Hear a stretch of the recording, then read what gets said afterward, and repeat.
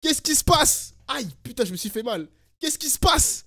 Le daron qui a défendu sa fille Mais non Mais non Bon, je vous remets dans le contexte, hein, je vous remets dans le contexte. On avait un drame, c'est passé malheureusement à Roanne, une petite fille qui a été agressée sexuellement par un Guinéen en situation illégale. Bon, pour l'instant, ce qui paraît, bon, c'est avéré. Et euh, il y a eu une chasse à l'homme, on va dire ça comme ça. Il y a eu une chasse à l'homme. Le daron s'est fait justice lui-même. Il a tabassé le Guinéen. Il l'a gimbasse. Genre vraiment, il a littéralement gimbasse.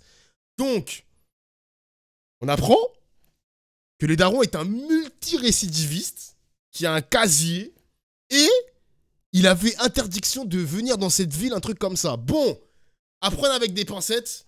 On va écouter ces news. On va écouter ces news. On va écouter. On va emmagasiner des informations.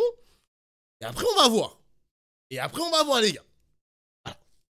Voilà, voilà. C'est passé dans la Loire, et plus précisément à Rouen. Regardez. On écoute, les gars. On Eh écoute. bien, sa sortie du, du palais de justice. Bon, Lucas, bonne soirée, mon gars. Des questions bizarres, là. Genre, le daron, ça l'a applaudi. Capuché et tout, hein. Voilà pour ces quelques soutiens, ces quelques applaudissements. Euh, Geoffroy Lejeune, vous pensez que ce papa doit avoir des circonstances atténuantes? Mais évidemment. Euh, déjà, je, je- je comprends les gens qui l'applaudissent. Je comprends ce qu'il a fait. Euh, il faut quand même se, se remettre dans la situation. Tout le monde va être d'accord pour dire que euh, Ah, on on voit se tête, justice hein. soi-même, etc. Très bien. Maintenant, il faut se mettre dans sa situation. Euh, si l'histoire est telle qu'elle nous est racontée est vraie, sa fille de 6 ans euh, a subi une agression sexuelle de la part de quelqu'un qui est rentré illégalement chez lui. Donc, en fait, tout le monde devient fou, moi le premier. Et donc, je le comprends et je ne le ne blâmerai jamais pour ça. Ensuite, euh, il faut raconter ce qui s'est passé. Le, jeune mineur isolé qui a, on ne sait pas d'ailleurs s'il est jeune parce que les mineurs isolés sont parfois assez âgés, mais et ils sont pas mineurs. La personne qui a fait ça a pris 10 jours d'ITT. Et sur le papier, ça peut impressionner. En fait, c'est rien du tout. Euh, c'est euh, un policier Ah qui a été un peu molesté. euh, C'est euh, quelqu'un. Ah, mais oui, c'est vous qui m'avez dit ça, les gars. Vous m'avez dit que 10 jours d'ITT, c'est pas un truc de ouf. C'est vrai, c'est vrai, c'est vrai, c'est vrai. C'est vrai que j'ai un bon chat, hein. Le chat comme ça qui m'apprend des choses, j'aime bien, j'aime bien. qui a été bousculé ou frappé, etc. C'est pas grand chose. Il aurait pu subir un passage à tabac d'une extrême violence. Et en fait, il faut noter que ces gens se sont arrêtés avant le passage à tabac en réalité. Euh, J'ai entendu hier sur CNews, hier soir, chez Pascal Pro, le témoignage d'un ami, enfin quelqu'un qui a participé euh, à, cette, euh, à cette opération, qui disait qu'à un moment donné, ils se sont arrêtés. Alors le, le père dit, heureusement que mes amis étaient là parce qu'on a pu appeler la police et, et pas aller trop loin, mais, mais ils étaient dans une démarche de le sanctionner ce qui est certes illégal, mais qui est compréhensible, euh, et pas non plus de faire, de faire justice, d'aller jusqu'au bout, parce que concrètement, ce qu'il risque, c'est bien plus grave que juste un passage à tabac. Il y a une enquête pour violence en réunion avec arme par destination. Je sais bien, mais, euh, mais, mais en réalité, enfin, Violence en réunion avec une arme par destination. Ça fait peur quand même, hein. Ça fait peur, si on s'extrait un peu de la, de la Hmm. dimension judiciaire du problème et du débat qui nous anime aujourd'hui, est-ce qu'il faut se faire justice soi-même, etc., Hmm. ils ont été assez mesurés, assez mesurés. Il faut le, le- si, pardon, ils ont été Ils ont mesurés. traqué, Ils ont, mais non, justement, pas du tout. Ils ont, ils ont, en fait, il ils faut ont mis en place une Il surveillance. faut analyser. En fait, il faut analyser ça dans l'autre sens. C'est pas euh, ce qui est intéressant, c'est pas ce qu'ils ont fait, c'est pourquoi ils l'ont fait. Pourquoi est-ce que des gens aujourd'hui, dont les enfants, euh, dont un enfant euh, subit une agression sexuelle de la part de quelqu'un comme ça, passent entre guillemets à l'acte et essaient de se faire justice eux-mêmes. Dites ça à François Bersani? Et je, je, non mais je le dis en fait à tout le monde. Parce que c'est ce qu'ils disent. Ils disent en gros que la... ils n'avaient pas le sentiment, et je parle sous le contrôle de Noémie Schulz, ils n'avaient pas le sentiment que la police, en tout cas, menait ces investigations, en tout cas, essayer de retrouver la, Mais la- la même personne. indépendamment de la police, moi je suis d'accord avec Karim, il faut défendre la police judiciaire, en ce moment, parce qu'elle est menacée euh, dans son existence même, en tout cas dans ses, dans ses fonctions, dans ses missions, etc. Mais indépendamment, indépendamment de la police, c'est pas la police que- qu'on accuse ici. C'est il, a, il est mineur, euh, isolé, donc il est inexpulsable. Ensuite, il est mineur, donc il a une peine qui est moins importante que s'il était majeur.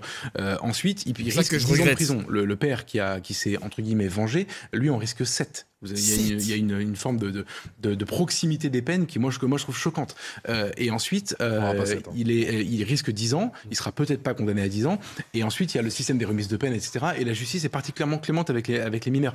Donc, vous mettez tout ça bout à bout. Et vous êtes le père de cette gamine. Waouh, mais attends, mais si la justice, ils sont. euh, Attends, mais si la justice est clémente avec un mineur isolé qui a fait une agression, une agression sexuelle, c'est quand même trop une dinguerie. Hein. Fait, est-ce que tu te rappelles un jour, tu as dit on condamne toujours la réaction à l'action et pas l'action?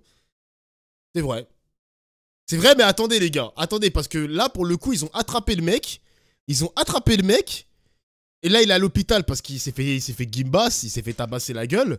Mais, euh, mais il va être en comparution immédiate. En fait, il y a une différence quand même parce qu'on on trouve que la justice, elle est lente. Mais parfois, quand l'affaire, il y a tous les éléments pour incriminer la personne, en finir avec lui et le condamner, des fois, la justice peut aller vite aussi, les gars. J'ai pas envie d'être le suceur de la justice parce que la justice va très mal dans, ce, dans ce pays. Mais des fois, quand ça va vite, il faut le dire. Voilà, des fois, quand ça va vite, faut le dire. Mais, mais vous avez subi ce que vous venez de subir, mais je comprends qu'il ait eu envie. Non, c'est euh, temps, de, monsieur, t'as pas écouté, t'as mal écouté. Mais je crois que c'est le danger, tout le monde comprend, et c'est pour ça que la justice existe. Sinon, euh, toutes les personnes qui, qui, sont confrontées comme ça à un crime euh, terrible auraient envie de prendre un, un, fusil et d'aller régler leur compte à, à, la, à, la, personne soupçonnée d'avoir commis l'agression. Et toute la difficulté, encore une fois, là, peut-être peut, -être, que le jeune qu'ils ont roué de coups est effectivement celui qui s'est immiscé dans, dans la maison, peut-être pas, peut-être qui a effectivement vu une, eu une agression sexuelle, peut-être pas, peut-être. Non mais t'as rien compris monsieur, c'est 10 ans pour celui qui a fait l'agression sexuelle et c'est 7 ans pour celui qui a fait la violence en réunion avec arme par destination. Il a pas écouté lui hein. Encore une fois, normalement il y a un temps qui est pour l'enquête, pour s'assurer de la véracité des faits. et, enfin, je veux dire, qu'est-ce qu'on dit si on dit aux gens, bah, vous avez la conviction que, cette personne est coupable, allez-y, on comprend, allez lui régler, allez, lui régler son compte. Vous avez raison, je ne dirais pas ça. Maintenant, ça s'est déjà passé en fait, mais je ne dirais pas ça. Juste, c'est parce que c'est parce que la justice déraille que ce genre de, réflexion et de comportement arrive. Je, dans l'autre sens, ça marche plus. Non, je crois que ça, arrive parce que, comme vous l'avez dit, ça rend fou de douleur d'imaginer que quelqu'un est rentré chez vous et a agressé votre petite fille de, de 6 ans. Je ne crois pas au bout de 24 heures, c'est un peu tôt pour dire que la justice déraillait concernant la, gestion de cette affaire-là. C'est pas dans cette affaire-là, vous avez raison. C'est pas dans on n'en sait rien, on n'a pas beaucoup d'éléments, etc. Mais il y a deux jours sur CNews, vous avez fait un sondage sur votre compte Twitter euh, en demandant aux gens s'ils comprenaient ce qui s'était passé. Consultation. 92%, c'est pas un sondage, pardon, vous avez raison, c'est une consultation. 92%, à comprendre. Et le, monsieur qui sort du tribunal, il est applaudi. Et en fait, c'est ça, c'est le point de départ de tout ça, c'est ça. Et je suis d'accord avec vous, je connais pas le dossier, je connais pas l'histoire et je ne m'avancerai pas là-dessus. Mais, mais il faut comprendre qu'en fait, euh, les, les, les gens réagissent parce qu'on sait qu'à l'origine, ça ne fonctionne pas. Alors, il faut, vous pouvez défendre la justice et vous avez raison de le faire. Évidemment que notre civilisation s'honore de, régler les problèmes autrement que par la loi du talion. Je suis d'accord avec tout ça. Mais, mais, il faut aussi être d'accord pour constater que ça ne fonctionne plus et constater que bah, parfois, euh, certains décident de, le faire eux-mêmes parce qu'ils ont, ils ont, ils ont l'idée que ça ira plus vite et que ce sera plus. plus... Le danger, il est là, François Bersani, c'est que de bah, plus en plus de personnes cherchent à se faire euh, justice eux-mêmes. Oui, ce genre d'action pourrait laisser, euh, pourrait laisser présager en effet que la police est totalement en incapacité d'agir euh, et que donc il faut se faire en effet justice soi-même, alors euh, sous euh, l'effet de la douleur, de la, de la haine envers un éventuel agresseur, mais là on n'est pas du tout dans, dans, une, dans un état de fait où par exemple ça faisait des mois que la procédure durait, que la police n'avait rien fait, que le dossier avait somnolé au fond d'un tiroir. On, est à moins de 24 heures après les faits, donc c'est très dangereux. De toute façon, la, société ne peut pas. Les mecs, on hein. comprend que la personne est applaudie par des supporters, mais en tout cas, nous, en tout cas, force de police, on est, on est présent à Rouen comme, partout en France. Si euh, lorsque la personne s'est approchée de la maison, si tant est qu'elle était accrochée aux grilles, ce qu'on a pu comprendre dans un premier instant, il suffisait d'appeler 17 police secours et puis la police arrivait et maîtrisait l'intervention de A à Z et on avait une procédure qui en effet était carrée et qui euh, ne débouchait pas sur des violences. En vrai, en vrai, hein, j'ai pas envie de prôner la violence, les mecs, hein, mais vraiment, j'ai la haine. T'es en face de l'agresseur de ta petite fille de 6 ans. Avant d'appeler les keufs, tu le tabasses un petit peu, non? Ou c'est un peu une dinguerie ce que je viens de dire, les gars? Tu lui mets des petites claques. Franchement, qui aurait appelé la police? Mais ils ont appelé la police, mon gars. Hein. Ils ont appelé la police quand même. Hein. Ils ont tabassé le mec et ensuite ils ont appelé la police. Mais honnêtement, t'as le mec littéralement en face de toi. T'es père de famille, t'es un papa poule. T'as le mec en face de toi. En face de toi. T'appelles la police, tu le maîtrises et tu fais rien. Non, t'es ouf. T'es ouf, t'es ouf, t'es ouf. Tu te claques dans sa mère, tu le chicotes un petit peu. Non, t'es ouf, t'es. T'es ouf. Now, T'es fou, mon gars. Violence euh, commise par le, par le père de famille. Alors, moi, j'ai on a un regard froid euh, avec euh, Nomi Schultz. On est un peu ici, la, le côté un peu. la vertu. la vertu juridique. On rappelle, on rappelle les règles. on est un peu les arbitres, les arbitres d'un match de football. Et vous êtes sur le terrain Et on est sur le terrain aussi. Mais voilà, il faut toujours dire à la population nombreuse qui vous regarde non, aujourd'hui, les forces de police ou gendarmerie sont là. Appelez-les. si vraiment vous êtes dans un déni de police ou un déni de justice, que des gens se mettent à passer à l'acte parce qu'ils comprennent qu'ils sont seuls au monde. ce serait une Mais là, on n'est pas du tout dans ce cas-là. Quant au sentiment de dire euh, ils ont réagi comme ça parce qu'il y a le sentiment que la justice n'est pas à la hauteur, je rappellerai dans l'affaire Grégory, Jean-Marie Villemain qui va tuer euh, Bernard Laroche, euh, qui était soupçonné d'avoir tué son, son, petit garçon et puis qui avait été finalement remis en liberté. c'est il y a 40 ans, et donc c'est une problématique qui a toujours existé. Encore une fois, à un moment, là, être fou de douleur, vouloir se, se, venger soi-même, ça n'est pas nouveau. Karim. La garderie, la garderie, la garderie, j'allais dire. La garde à vue était-elle indispensable? Bah, En vrai, bah, tu lui fais une petite, tu lui fais prendre une petite garde à vue. Euh, a pas grand chose. C'est pas, c'est pas un truc de ouf. Ça va, ça va, ça va, ça va. Je le brûle un petit peu quand même. Au pire, lui faire ce qu'on lui a fait. Oula, c'est bizarre ça. Au pire, tu lui fais subir ce qu'il il a fait subir à la petite fille de 6 ans. Ce commentaire est très bizarre, monsieur. Je ne valide pas ce commentaire, mon gars. Attention à toi. Hein. Oula, attention à toi, mec. Hein. Non, mais moi, ma position n'a pas changé. Oh. Hein, donc, euh, et je le dis avec beaucoup de sincérité. Sur euh, Karim. Oh, Karim. Je comprends le père dans sa réaction. Donc, et même 48 heures après. Euh, et même s'il n'est pas en légitime défense. donc, vous avez une petite fille qui est victime d'agression sexuelle. Vous pensez mettre la main sur cet agresseur. Pour moi, il n'est pas possible, humainement parlant, d'être dans une maîtrise au total dans une rationalité totale, euh, de quitter ses émotions les plus instinctives de père de famille, donc, pour vous dire, je vais faire le 17, et je vais appeler police secours, même si j'ai confiance en la police. Donc je le dis avec sincérité. Après, quand je dis ça, Karim Zerimi n'incite pas nos compatriotes à faire justice eux-mêmes. Non, mais je le dis, parce que c'est important de le dire dans la foulée, de, mais ne pas inciter nos compatriotes à faire justice soi-même. Donc quand on est assis autour de la table, c'est assez simple il faut le reconnaître. merci pour le que Si vous vous trouvez en face de l'agresseur de votre petit de 6 ans, c'est quand même assez compliqué de ne pas lui mettre la main dessus, quoi. Euh, c'est pour ça qu'il faut raison garder, il faut rappeler la loi républicaine, euh, ce cadre-là, qui, qui, est le cadre euh, qui nous est dévolu à tous, mais on ne peut pas non plus que, tirer à U et à Dia sur un père de famille qui s'est comporté comme il l'a fait. Moi, je vais vous dire, on a énormément à la barre, lorsqu'on a des délinquants, parfois, parfois, pas toujours, heureusement. Et c'est pas incriminer la justice que de, que dire ce que je vais dire. Des rappels à la loi. On le sait. Je veux dire qu'on a souvent débattu de cela. Des délinquants qui se trouvent face à des magistrats et dit Monsieur, vous savez, c'est pas bien ce que vous avez fait. Attention la prochaine fois. Ben, j'aimerais que ce père de famille, de, que, on puisse effectivement lui manifester un rappel à la loi, parce que ce qu'il a fait n'est pas en, concorde avec la loi, en concordance avec la loi, mais ne pas aller plus loin non plus. Parce que je pense qu'il ne peut pas être traité euh, euh, plus mal qu'un délinquant euh, ne peut l'être que dans, les tribunaux. On va écouter le procureur de la République. Ah, c'est ouf quand même, hein. C'est ouf, c'est ouf, c'est ouf. Non, franchement, les gars, Karim, il a raison. Karim Zeribi, le roi des tapines. Arrêtez Les gars, je crois que je vais créer une émote tapine, hein. Je vais vraiment créer une émote tapine. Hein. Salut Doflash, je t'ai découvert sur YouTube et franchement, j'adore ce que tu fais. Un peu trop d'overreact parfois, mais change rien. Jure, j'ai fait du overreact. Aïe. Les gars, je me suis fait embrouiller d'ailleurs. Je vais vous expliquer l'embrouille tout à l'heure. Je vais vous expliquer. Quand on va lancer le TPMP, je vais vous expliquer. Vous allez voir. Vous allez voir, vous allez voir. Et ça va venir euh, très certainement en résonance avec ce que nous disait il y a quelques instants Noémie Schulz.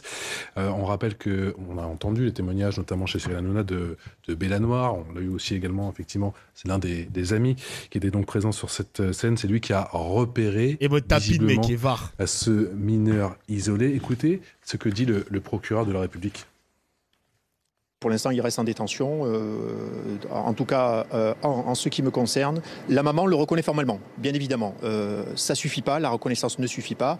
Euh, c'est un élément parmi d'autres. il y a aussi les éléments scientifiques. Nous avons fait procéder, comme je vous le disais, dès les premières minutes, dès les premières heures de l'enquête. Nous avons donc fait procéder à des prélèvements scientifiques et biologiques. Ils sont actuellement en cours d'analyse et d'examen par un laboratoire spécialisé de la police scientifique. J'attends le retour des résultats pour pouvoir me prononcer là voilà, Bella Noire, l'ami du papa, qui a donc montré la fameuse, enfin, qui a repéré l'homme, qui a pris en photo l'homme, et il a envoyé la photo du, coup au papa, et le papa a montré la photo à la maman, qui avait donc surpris ce jeune homme, et c'est sur ce fait qu'est revenu justement le procureur de la République. Je voulais revenir là-dessus vite fait. Tout à l'heure, euh, Geoffroy Lejeune, donc qui fait partie de Valeurs Actuelles, on sait que ce journal est un peu à l'extrême droite, un peu beaucoup même. C'est une dinguerie parce que je crois que le nom du, de, de l'agressé, enfin du père, du père quoi, du père de la petite fille, à ce qui paraît, c'est un rebeu qui a eu un casier judiciaire. Bon, ça, encore une fois, on n'est pas encore sûr. Mais de ce qu'on sait, c'est un rebeu. Mais moi, ce qui me fume, c'est que c'est un rebeu. Et là, il y a Geoffroy Lejeune qui ne dit pas ouais, il a pas condamné, tu vois, comme d'habitude, parce que c'est pas un Français ou je sais pas quoi, il n'y a pas eu de condamnation. Il était droit dans ses bottes, il était en mode, non, il a fait justice lui-même, il, a, il, aurait dû le faire, il aurait dû tabasser sa fille, etc. Il a, pas, il a marqué un petit point, mais j'ai pas trop envie de lui sucer la bite à ce monsieur parce que. On n'aime pas trop valeur actuelle ici. Hein. On n'aime pas trop valeur actuelle ici. Hein. Attention, hein, Geoffroy. Attention, oui, encore une fois, euh, Prends un petit McDo, Léandro. avait vu euh, le, jeune homme, euh, ce jeune, de manière assez fugace. Et je ne me remets pas en cause la, bonne foi. elle l'a reconnu. Et c'est peut-être lui. Mais encore une fois, c'est l'enquête qui va devoir déterminer ah, ce qui s'est précisément. François Bersani, c'est sur ce point que c'est peut-être léger? Le rapport, c'est qu'il peut prendre plus cher que s'il n'a pas de casier. Non, mais c'est par rapport à la récupération aussi, hein, parce qu'on a vu qu'il y a pas mal de d'extrêmes droitards qui récupéraient, euh, qui récupéraient ces faits-là euh, pour mettre en exergue, pour en parler, pour euh, défendre aussi les délires francocides, je sais pas quoi. Enfin, c'est bon, toi aussi, les émours, tout ça, c'est vrai. Alors, euh, eh ben, s'il y a des prélèvements, le procureur semble expliquer qu'il y a des, prélèvements qui ont été faits, donc je te jure au cas biologiques, euh, j'imagine, sur la victime euh, ou la supposée victime, puisque pour l'instant on, ne sait pas si les faits sont, avérés, mais en effet, si ces prélèvements démontrent en effet l'intervention d'un tiers, on va dire, sur mmh. cette jeune mineure, mmh. et que bien sûr ça correspond au, fameux mineur isolé qui est présumé auteur des, des faits, oui, ça, on va éclaircir très on va éclaircir très très vite ce, dossier. Alexandre je voulais revenir sur ce que disait euh, Noémie en disant ça a toujours existé, c'est la douleur qui fait passer à l'acte. C'est sans doute euh, vrai, elle rappelait l'affaire Grégory, mais il y a quand même des données statistiques qui sont aujourd'hui intéressantes. De plus en plus de Français qui s'arment. Ça n'existait pas ça il y a quelques années. un sondage qui a été fait par la Fondapol expliquant que 61, 71% des Français pensaient désormais que les conflits allaient devoir se régler par la, la violence et 20, 21% de plus que euh, dans les autres pays euh, européens. Donc ça montre quand même euh, qu'il y a une partie de la, de, de, la société qui n'a plus confiance dans l'État. Et je pense que, que, c'est très grave et que envoyer le, le, le système d'un État faible, c'est justement laisser la place demain à la loi du plus fort. C'est ça qu'il faut absolument éviter. Danton, l'un des fondateurs de la République, expliquait déjà qu'il fallait, ministre de la Justice d'ailleurs, qu'il fallait que l'État soit terrible pour que le peuple ne le soit pas. Je pense qu'on en est euh, là et qu'il faut bien en avoir conscience. C'est qui lui? Stéphanie Germani, euh, qu'est-ce qui se joue là? Imagine, t'as deux mêmes gars, ils ont deux embrouilles différentes sur une semaine. Genre une financière et l'autre baston sans lien. Il y a deux procès, quatre avocats? Attends, quoi? C'est quoi cette question, wesh Attends, je vais essayer de me concentrer. Imagine, t'as deux mêmes gars. Ils ont deux embrouilles différentes sur une semaine. Genre, une est financière, donc moi j'ai deux embrouilles. J'ai une embrouille financière et une baston. Il n'y a aucun lien entre les deux. Il y aura deux procès et quatre avocats? Est-ce que j'aurai deux avocats? Euh. Je pense que oui, hein. Je pense que oui, j'ai deux avocats, non? Normalement, oui. Ou sinon, le même avocat travaille sur, sur deux dossiers différents, mais du coup, je paye deux fois ses, des fois le forfait, quoi. Logique. Normalement, c'est logique. C'est une très bonne question bête, ça. Hein. Ça peut basculer. Comment ne pas céder la dictature de l'émotion? Eh bien, justement, là, j'écoutais, je me disais, ce qui se dit sur le plateau, ça répond un peu à votre question euh, du début, à savoir, est-ce que tout le monde peut passer à l'acte? Euh, Je vous ai dit oui, vous m'avez dit euh, pour quel motif? Alors, j'ai dit, il suffit d'un événement. Vous m'avez posé la question, quel type d'événement? Je vous dis perte d'emploi, mmh. le, un, deuil trop tôt, voilà. Et eh bien là, on pourrait dire l'injustice. L'injustice bah peut effectivement être le moteur d'un passage à l'acte. Alors là, on pourrait dire, oui, mais ça n'a rien à voir, on n'est pas dans des comportements criminels. Là, c'est parce que euh, la petite fille, elle s'est fait violer, etc. Mais pour le criminel, dans son histoire, potentiellement, il y a de l'injustice, il y a euh, un élément euh, traumatisant, etc. Donc on en revient toujours au même. C'est-à-dire que dès lors, un individu est pris dans ses affects et qu'il ne gère pas un traumatisme intérieur, effectivement, il y a des risques de passage à l'acte. Et ça, c'est une partie inhérente de tout individu. Donc ça, c'était la première chose. La deuxième chose aussi, euh, j'écoutais, oui, alors effectivement, de plus en plus, les individus ont du mal avec euh, les figures de l'État, les figures de la police. Finalement, nos Français euh, sont déçus, finalement, de notre gouvernement, etc. Plébiscite la police, moi, la justice. Mais... bon, voilà, de manière générale, les figures d'autorité ou les figures qui représentent la justice. Les institutions. Ouais, les institutions. Je pense que c'est plus profond. Freud disait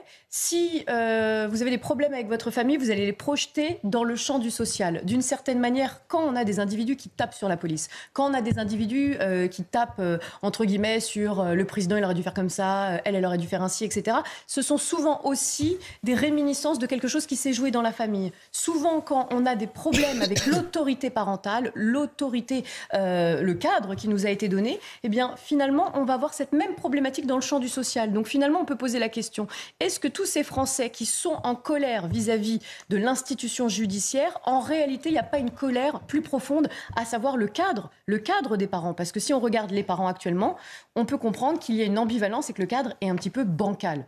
Allez, on en vient à présent ce nouveau rebondissement dans l'affaire de l'imam marocain. Ok, ok, ok. Bon, c'était cool, c'était cool, c'était cool, c'était cool. Parfait, pas de problème. Parfait, parfait, parfait.